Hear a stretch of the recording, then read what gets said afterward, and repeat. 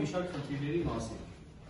Ես ուզում եմ վստահաբար ասեմ, որ այդ խնդիրներին, որոնց մենք անդրադառնում ենք մեր ներկայացման մեջ,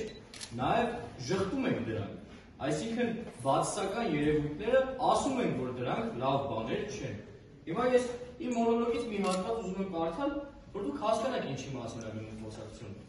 Ու հետագայում կարծում եմ ներկայացումը եւս մեկ անգամ կամ երկու անգամ կամ մի շարք անգամներ կխաղանք ու կարծում եմ, որ այս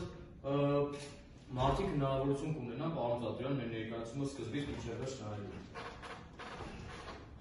Ես ես ասում եմ ներկայացումից չեմ նայել։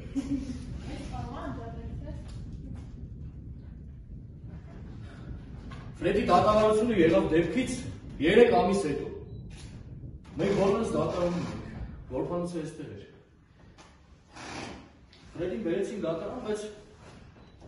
Ֆրեդը իզարմանացպես շատ հանգիստ էր, հա։ Որովհետև Ֆրեդը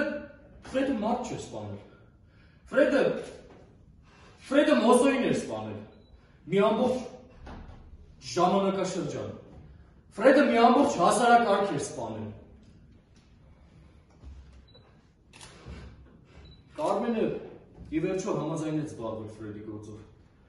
որի համար մենք բոլորը շնորհակալ ենք նրան։ Լավ ես չեմ հասկանում, ես ես մոսոներին ոչ ոք չի սովորացրել, հա որ ուրիշին թալանելը լավ բան չի։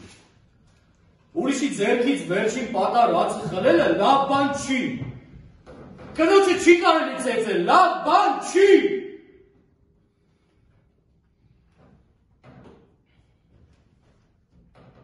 Հիշում եմ Կարմենի վերջին խոսքերը դատավորի։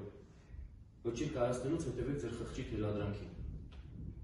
Ինչին ի պատասխան դատավորը ասեց. «Սա դատարանն է, ոչ թե թատրոն»։ Սոնան էլ ասեց. «Հիմա որ դատը ավարտի, տեսնենք դատարան է թե թատրոն»։